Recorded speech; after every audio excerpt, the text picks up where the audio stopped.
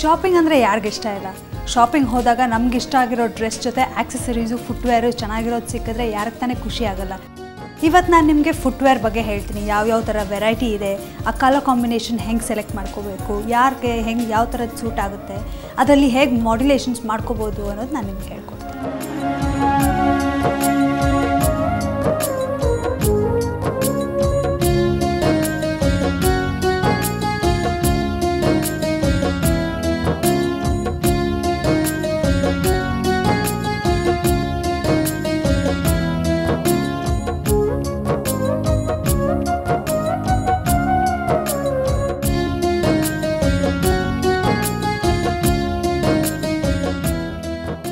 ಸ್ಯಾಂಡಲ್ಸಲ್ಲಿ ತುಂಬ ವೆರೈಟೀಸ್ ಇದೆ.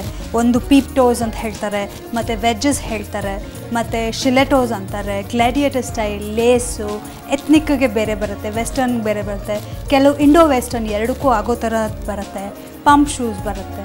ಇದರಲ್ಲಿ ಹೀಲ್ಸ್ ನಿಮ್ಗೆ ಯಾವ ಥರ ಬೇಕು ಅದನ್ನು ನೀವು ಸೆಲೆಕ್ಟ್ ಮಾಡಿಕೊಂಡು ನಿಮಗೆ ಕಂಫರ್ಟಬಲ್ ಆಗೋದನ್ನು ಹಾಕೋಬೇಕು. ಒಬ್ಬರು ದಪ್ಪ ಹೀಲ್ ಹಾಕೋತಾರೆ, ನಾನು ಅದೇ ಹಾಕೋತೀನಿ ಅನ್ನೋದು ತಪ್ಪು.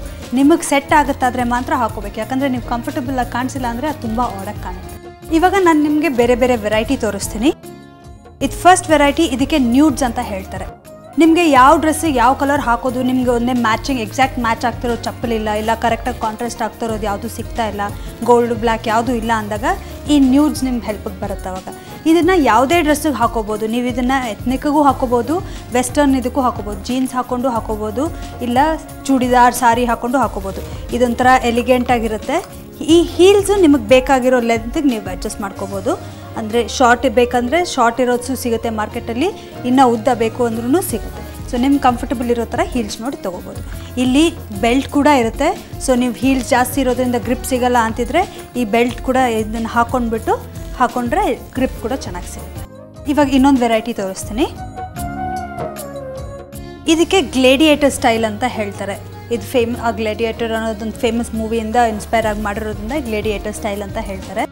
ಇದರಲ್ಲಿ ಹೀಲ್ ಬರುತ್ತೆ, ಮತ್ತು ಈ ಥರ ಮಲ್ಟಿಪಲ್ ಲೇಯರ್ಸ್ ಬರುತ್ತೆ. ಇದ್ರ, ಇದರಲ್ಲಿ ಹಾ, ಇದನ್ನು ಹಾಕೊಂಡಾಗ ತುಂಬ ಎಲಿಗೆಂಟಾಗಿ ಕಾಣುತ್ತೆ. ಕಲರ್ ಕಾಂಬಿನೇಷನ್ಸು ಬರುತ್ತೆ, ಇಲ್ಲ ಜಸ್ಟ್ ವಯರ್ಸಲ್ಲಿ ಬೇಕಂದೂ ಬರುತ್ತೆ. ಇದರಲ್ಲಿ ಕ್ಲಾತು ಇದು ಕ್ಲಾತಲ್ಲಿ ಬಂದಿದೆ ವೆಲ್ವೆಟ್ ಕ್ಲಾತಲ್ಲಿ ವಿತ್ ಬ್ಲ್ಯಾಕ್ ಲೈನಿಂಗ್ ಇದೆ. ಆದರೆ ಪ್ಲೇನ್ ಕೂಡ ಬರುತ್ತೆ ನಿಮಗೆ, ಇಲ್ಲ ಜಸ್ಟ್ ಸಿಂಪಲ್ ವಯರ್ಸಲ್ಲಿ ಬರುತ್ತೆ. ವೈಟಲ್ಲಿ ಗೋಲ್ಡಲ್ಲಿ ಸಿಲ್ವರ್ ಎಲ್ಲ ಮೆಟಾಲಿಕ್ ಕಲರ್ಸಲ್ಲೂ ಬರುತ್ತೆ. ಇಲ್ಲಿ ಹಿಂದೆ ಜಿಪ್ ಇರೋದ್ರಿಂದ ಇದಕ್ಕೆ ಗ್ರಿಪ್ಪು ಚೆನ್ನಾಗಿ ಸಿಗುತ್ತೆ. ಸೊ ಇದು ನಿಮಗೆ ಎತ್ನಿಕ್ಕಿಂತ ಜಾಸ್ತಿ ಇಂಡೋ ವೆಸ್ಟರ್ನಿಗೆ ತುಂಬ ಚೆನ್ನಾಗಿ ಕಾಣುತ್ತೆ. ವೆಸ್ಟರ್ನು ಕೂಡ ಹಾಕಿ ಇವಾಗ ನೆಕ್ಸ್ಟ್ ವೆರೈಟಿ ತೋರಿಸ್ತೀನಿ. ಇದಕ್ಕೆ ಲೇಸ್ ಶೂ ಅಂತ ಹೇಳ್ತಾರೆ. ಇಲ್ಲಿ ನೋಡಿ, ಇಲ್ಲಿ ಸ್ಕಿನ್ ಹೆಂಗೆ ಕಾಣುತ್ತೆ ಸೊ ಇದು ಲೇಸಲ್ಲಿರುತ್ತೆ ಇದ್ರ ನಾರ್ಮಲ್ ಹೀಲ್ಸ್ ಥರನೇ ಬರುತ್ತೆ. ಆದರೆ ಇದು ಅಪ್ಪರ್ ಬಾಡಿ ಮಾತ್ರ ಲೇಸಲ್ಲಿರೋದ್ರಿಂದ ಈ ಥರ ಹಾಕ್ಕೊಂಡಿರುವಾಗ ಸ್ಕಿನ್ಗೆ ಇದಕ್ಕೆ ಕಾಂಬಿನೇಷನ್ ಚೆನ್ನಾಗಿ ಕಾಣಿಸ್ಬಿಟ್ಟು ತುಂಬ ಎಲಿಗೆಂಟಾಗಿ ಕಾಣುತ್ತೆ. ಇದು ನೀವು ತ್ರೀ ಫೋರ್ತ್ಸು ಲೆಗ್ಗಿಂಗ್ಸು ಅದೆಲ್ಲ ಹಾಕೊಂಡಾಗ ಇದನ್ನು ಹಾಕೊಂಡ್ರೆ ತುಂಬ ಎಲಿಗೆಂಟಾಗಿ ತುಂಬ ಸ್ಮಾರ್ಟ್ ಆಗು ಇನ್ನೊಂದು ವೆರೈಟಿ ತೋರಿಸ್ತೀನಿ ಇವಾಗ. ಇದಕ್ಕೆ ವೆಜ್ಜಸ್ ಅಂತ ಹೇಳ್ತಾರೆ. ಇದು ಈ ಥರ ಬರುತ್ತೆ. ಫ್ಲ್ಯಾಟ್ ಆಗಿರುತ್ತೆ. ಕೆಳಗೆ ನಿಮಗೆ ಗೊತ್ತಾಗೋದು ಇಲ್ಲ ಹೀಲ್ ಹಾಕಿದ್ದೀವಿ ಅಂತ ಸ್ವಲ್ಪ ಲೆಗ್ ಎಲಿವೇಶನ್ ಬರುತ್ತೆ ಅಷ್ಟೇ. ನಾರ್ಮಲ್ ಹೀಲ್ಸ್ ಹಾಕ್ಕೊಂಡು ಕಷ್ಟ ಆಗುತ್ತೆ, ನಂಗೆ ಬ್ಯಾಲೆನ್ಸ್ ಸಿಗಲ್ಲ ಅನ್ನೋರಿಗೆ ಇದನ್ನು ಹಾಕೋಬೋದು. ಇದು ಹಾಕೊಳ್ಳೋದ್ರಿಂದ ಸ್ವಲ್ಪ ಬಾಡಿಗೆ ಬ್ಯಾಲೆನ್ಸ್ ಕೂಡ ಇನ್ನೂ ಚೆನ್ನಾಗಿ ಸಿಗುತ್ತೆ. ಕಂಫರ್ಟಬಲ್ ಆಗೂ ಇರುತ್ತೆ ಪ್ಲಸ್ ಹೈಟ್ ಹೈಟ್ ಕೂಡ ಸಿಗುತ್ತೆ. ಇದ್ರಲ್ಲಿ ಬೇರೆ ವೆರೈಟೀಸು ಬರುತ್ತೆ.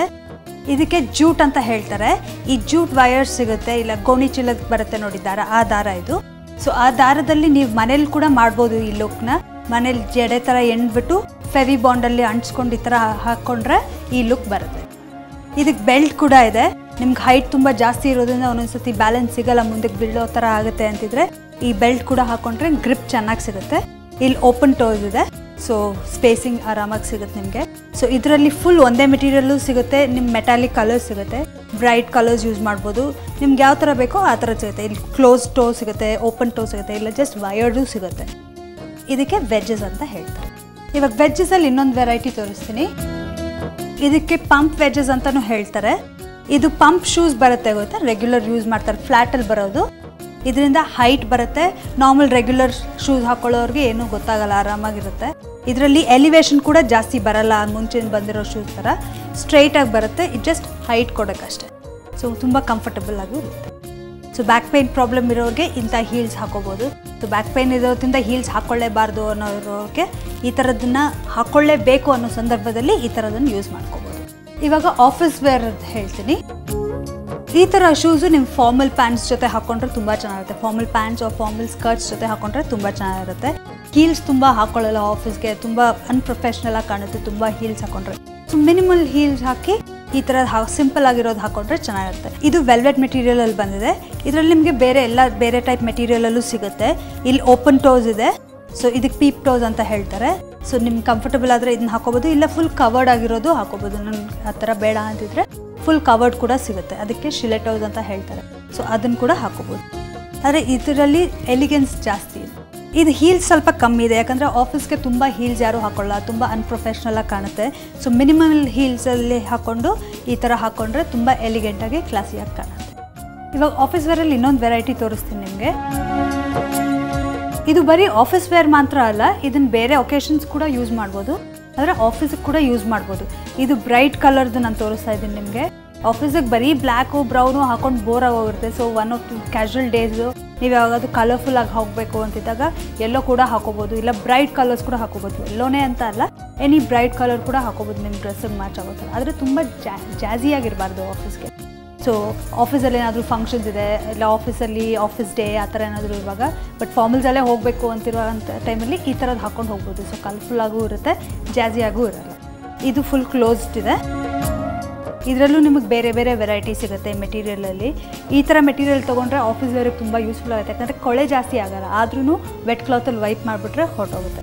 ಸೊ ಇದು ಕನ್ವೀನಿಯೆಂಟ್ ಆಗಿರುತ್ತೆ, ಮತ್ತು ಈಸಿಲಿ ಅವೈಲೇಬಲ್ ಎಲ್ಲ ಕಡೆ ನಿಮಗೆ ಈ ಥರ ಮೆಟೀರಿಯಲ್ ಸಿಗುತ್ತೆ. ಇವಾಗ ಇದರಲ್ಲಿ ನಿಮಗೆ ಪ್ಲೇನ್ ಶೂಸ್ ಕೂಡ ಸಿಗುತ್ತೆ.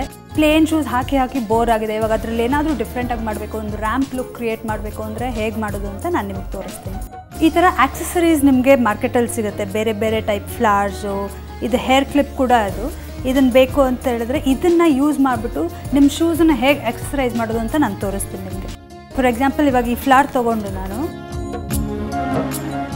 ಇವಾಗ ಇದನ್ನು ತೊಗೊಂಡು ಹೇಗೆ ಎಕ್ಸಸೈಸ್ ಮಾಡ್ಬೋದು ಅಂತ ನಾನು ತೋರಿಸ್ತೀನಿ. ಫಾರ್ ಎಕ್ಸಾಂಪಲ್ ಇವಾಗ ಈ ಆರೆಂಜ್ ಫ್ಲವರ್ ಇದೆ. ಈ ಪ್ಲೇನ್ ಶೂಸ್ ಇದೆ. ಈ ಪ್ಲೇನ್ ಶೂ ಹಾಕಿ ಹಾಕಿ ನಂಗೆ ಬೋರ್ ಆಯಿತು. ಇವಾಗ ಇದರಲ್ಲಿ ನನಗೆ ರ್ಯಾಂಪ್ ಲುಕ್ ಕ್ರಿಯೇಟ್ ಮಾಡಬೇಕು ಅಂದರೆ ಇದು ಆ್ಯಕ್ಚುಲಿ ಹೇರ್ ಕ್ಲಿಪ್ ಇದು.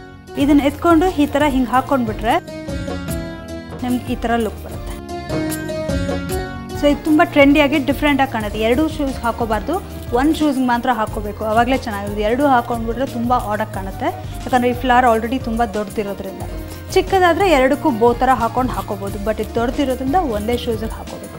ಇದನ್ನು ಸೇಮ್ ಕಲರ್ ಇರಬಾರ್ದು, ಒಂದೇ ಚೂರು ಲೈಟು ಡಾರ್ಕ್ ಇರಬೇಕು ಇಲ್ಲ ಅಂದ್ರೆ ಈ ಥರ ಕಾಂಟ್ರಾಸ್ಟಲ್ಲಿ ಇರಬೇಕು. ಆವಾಗ ನಿಮ್ಮ ರ್ಯಾಂಪ್ ಲುಕ್ ಕರೆಕ್ಟ್ ಆಗುತ್ತೆ. ಈ ಥರ ನೀವು ಫ್ಲ್ಯಾಟ್ಸಲ್ಲಿ ಕೂಡ ಮಾಡ್ಬೋದು. ಫ್ಲ್ಯಾಟ್ ಇಲ್ಲಾದರೆ ಫ್ಲ್ಯಾಟ್ ಚಪ್ಪಲ್ಗಳು ಸಿಗುತ್ತೆ, ಅದರಲ್ಲೂ ಮಾಡ್ಬೋದು. ಅದರಲ್ಲಿ ಒಂಥರ ಬೀಚ್ ಲುಕ್ ಥರ ಬರುತ್ತೆ ಅವಾಗ. ಈ ಕ್ಲಿಪ್ ಬೇಡ ಅಂತಿದ್ರೆ ಈ ಕ್ಲಿಪ್ಪನ್ನು ಹಿಂಗೆ ರಿಮೂವ್ ಮಾಡ್ಕೊಂಡ್ಬಿಟ್ಟು, ಇದು ರಿಮೂವ್ ಮಾಡೋಕ್ಕಾಗತ್ತೆ. ಈ ಫ್ಲಾ ನೋಡಿ, ಇಲ್ಲಿ ಕ್ಲಿಪ್ ರಿಮೂವ್ ಮಾಡಿದ್ದೀನಿ. ಇದನ್ನು ತೆಗೆದ್ಬಿಟ್ಟು ಫೆವಿ ಬಾಂಡ್ ಹಾಕ್ಬಿಟ್ಟು ಈ ಥರ ಹಾಕ್ಬೋದು. ಇವಾಗ ಈ ಕ ಈ ಥರ ಕೂಡ ಮಾಡ್ಬೋದು. ಇವಾಗ ನೋಡಿದ್ರಲ್ಲ ಪ್ಲೇನ್ ಚಪ್ಪಲ್ನ ಹೇಗೆ ಗ್ರ್ಯಾಂಡಾಗಿ ಮಾಡೋದು ಅಂತ. ಇದೇ ಥರ ನೀವು ಅಂಗಡಿಗೆ ಹೋಗಿ ತೊಗೊಂಡ್ರೆ ಅದು ಒಂದಕ್ಕೆ ಡಬಲ್ ರೇಟ್ ಹೇಳ್ತಾರೆ. ಸೊ ನೀವೊಂದು ಪ್ಲೇನ್ ಆಗಿರೋದನ್ನ ಸ್ಯಾಂಡಲ್ ತೊಗೊಂಡು ಇಲ್ದಿರೆ ಮನೇಲಿ ಇರೋವಂಥ ಚಪ್ಪಲೇ ತೊಗೊಂಡು, ಅದನ್ನು ಮನೇಲಿ ನೀವು ಹೇಗೆ ಡೆಕೋರೇಟ್ ಮಾಡ್ಬೋದು ಅಂತ ತೋರಿಸಿದ್ದೀನಿ ಸೊ ಸ್ವಲ್ಪ ಕ್ರಿಯೇಟಿವಿಟಿ ಯೂಸ್ ಮಾಡ್ಕೊಂಡ್ಬಿಟ್ಟು ಮಾಡಿದ್ರೆ ನಾವೇ ಮಾಡಿರೋದು ಅಂತ ಒಂದು ತೃಪ್ತಿ ಇರುತ್ತೆ ಪ್ಲಸ್ ಯುನೀಕಾಗಿ ಡಿಫ್ರೆಂಟಾಗೂ ಇರುತ್ತೆ.